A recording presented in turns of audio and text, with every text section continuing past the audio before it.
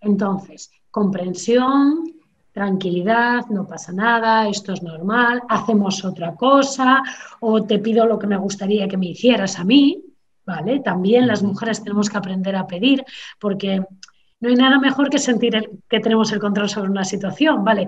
No he podido hacer esto que queríamos, pero puedo hacer otra cosa, ¿no? Entonces, darles ese control y luego, mira, esto tiene solución, vamos a buscar ayuda.